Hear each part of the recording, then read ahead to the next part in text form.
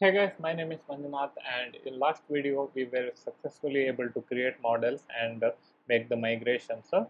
and in this video we are going to look at uh, how we can work with the Django administration that is the when we go to slash admin uh, Django provides us a username and password which we don't know what, what is username and password and how we can like use it. So if you once we go inside this page, uh, you will be like amazed to see what and all Django provides us uh, by default.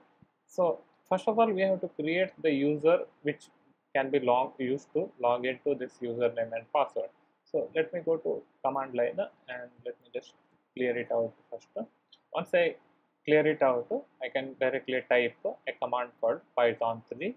Yes, you guessed it right. Everything starts with python 3 manage.py and make super user. So this command won't work because we have to use create super user. See i made one mistake and django told me what needs to be done. So let me just change the command as python 3 manage.py create super user. If i directly type this okay, i made again type mistake. So let me correct this problem this always happens when you will be programmed so you don't have to think uh, like why i'm making mistakes. You will also make mistake uh, and when you are doing mistake you just have to go back and correct it and you have to fix it. So let me type this thing properly. Create a super user. So if i type this particular thing properly that time it will ask me what username i need to type. So let me type it as manjunath which is also will be default if we don't type anything but let me just type it as my Manjunath and if I do enter it will ask me to type a email address. I'll just put one dummy email address Manjunath at Manjunath dot com and password I can keep anything but let me just type 1 2 3 4 5 6 7 8 9 and if I just enter it it will ask me again to type the password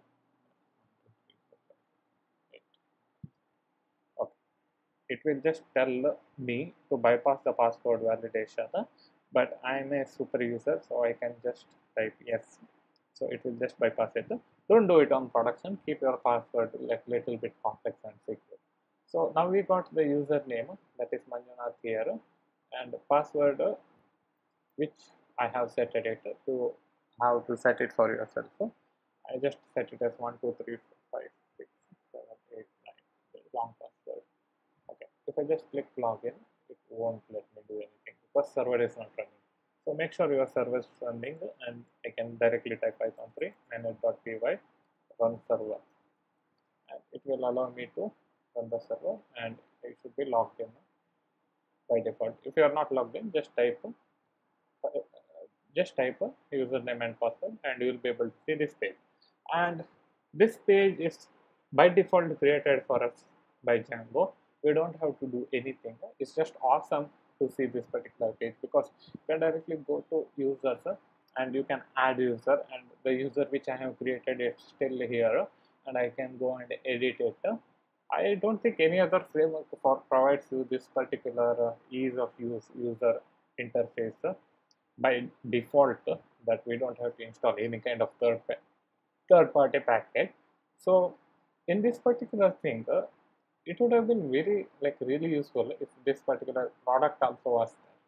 So don't worry django provides us how we can like add products here edit products here and update and look all the products. So we are going to do it in this particular video in a while. So let me go to this particular folder and uh, i'm in pages app. Let me close this migration folder which i have opened again. So once i close this migration I have one file named admin.py. In this particular folder, I can register the model which I have created in this particular file. So let me just import it first. So in order to import, I can directly type from dot models import the model which I required that is product model.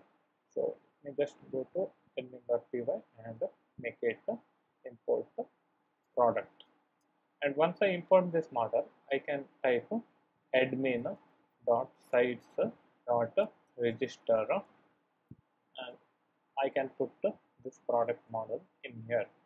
Once I put this particular product model it will give me error because I just have to type site. I don't need sites.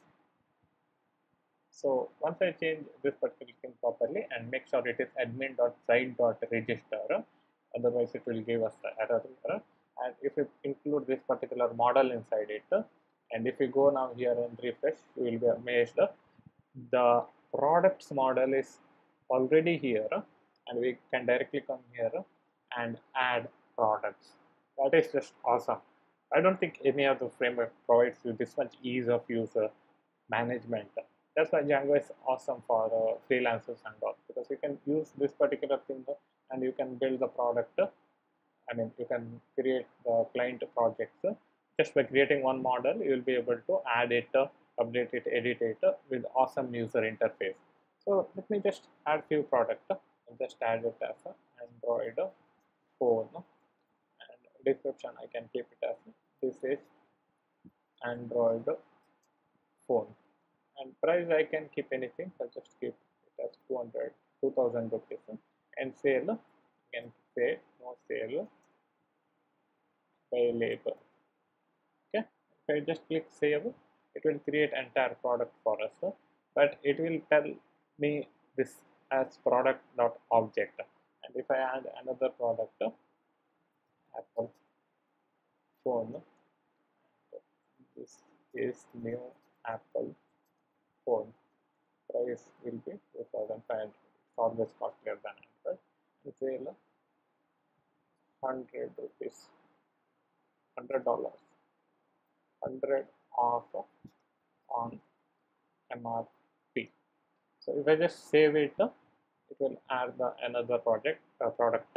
But it is not giving us like good use easy usable name. So just have to go to this particular file and I have to define a function called underscore underscore str and it will it gave me the suggestion because of the plugin which I am using you don't have plugin don't worry but you just have to type def underscore underscore this is double underscore str and double underscore in the bracket just put self and you can just return self dot name. And if I just refresh here now it will give me Have to migrate it forward okay. Now we are able to see the Apple phone. You don't have to migrate it. Just make sure it's saved and you will be able to refresh it here. So once you have refreshed it and the product is available now we can go back to the main file of here. And instead of displaying hello Django is awesome here we just have to make sure this products which we have added in the admin section displayed here.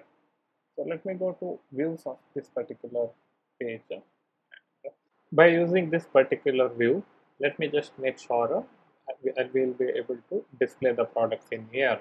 So I just have to go to this particular section of the home page uh, and first we need to import the model which we require.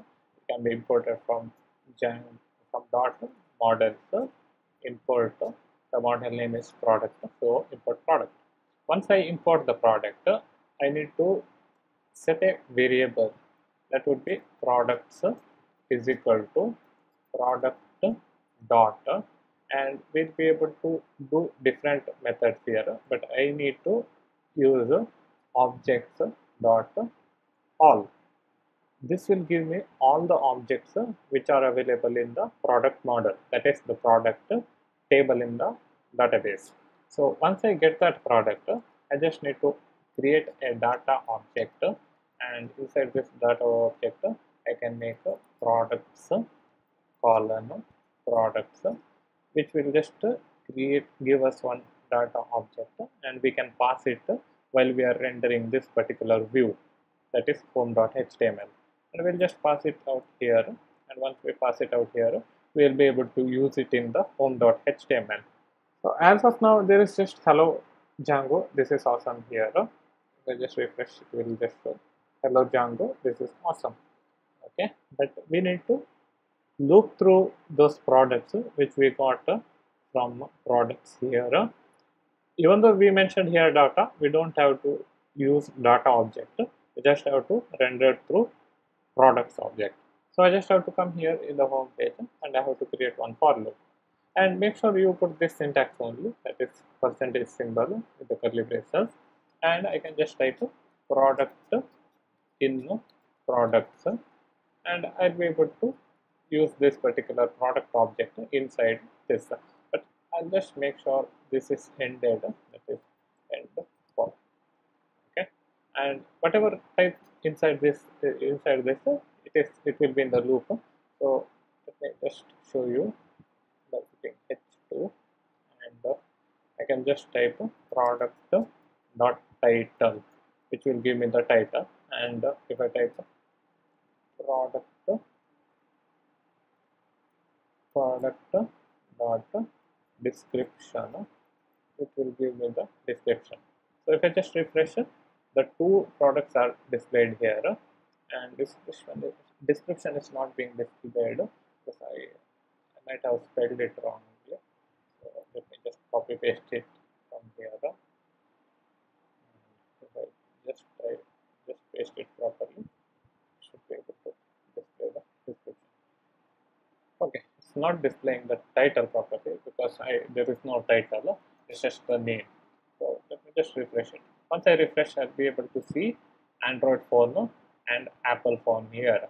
And if we go to slash admin in another page, slash admin, that time we'll be able to add a new product that can be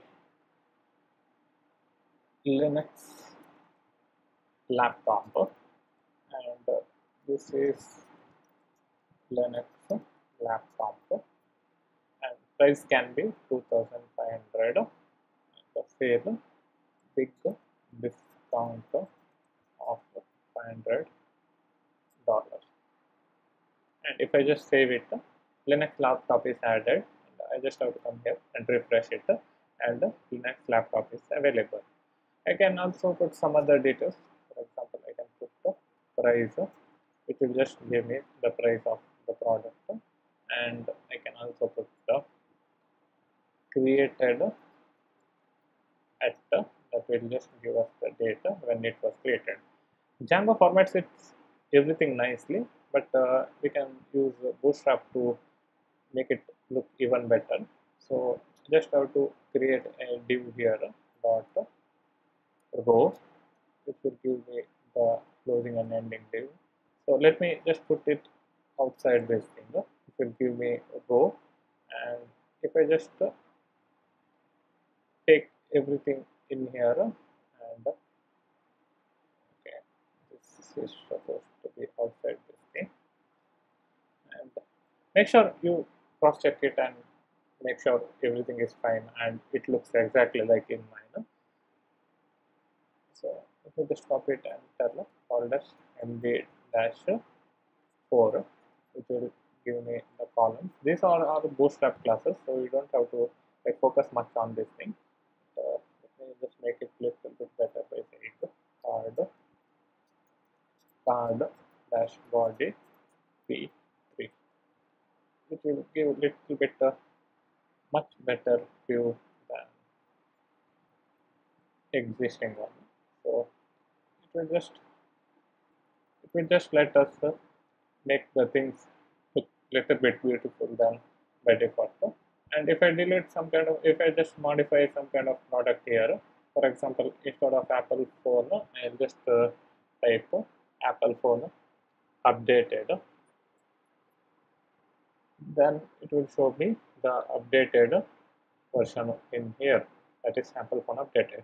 So in here if I go and select something and uh, delete it then it will ask me should I like delete it? Then once I click it the product is deleted and it's gone from here also so it's very useful if you are doing freelancing the Django is very useful for this particular scenario because the backend is the CRUD functionality of admin panel is already cooked in. We just have to go to admin.py and register the model which we created in this particular file. That is the product model here. So that's it for this video guys and uh, see you in the next video. Bye bye.